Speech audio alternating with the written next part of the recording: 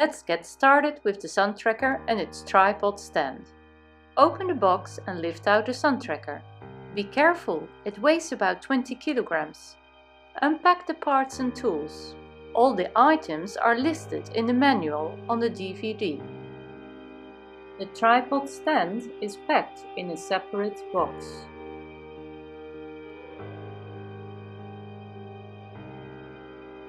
Screw in the two adjustable feet such that they protrude the same amount as the fixed foot.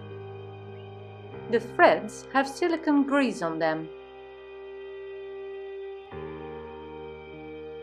The Kipp & Zonen logo on the tripod must point to the east within plus or minus 10 degrees. Place the sun tracker on the tripod so that the E-label on its base lines up with the logo on the tripod.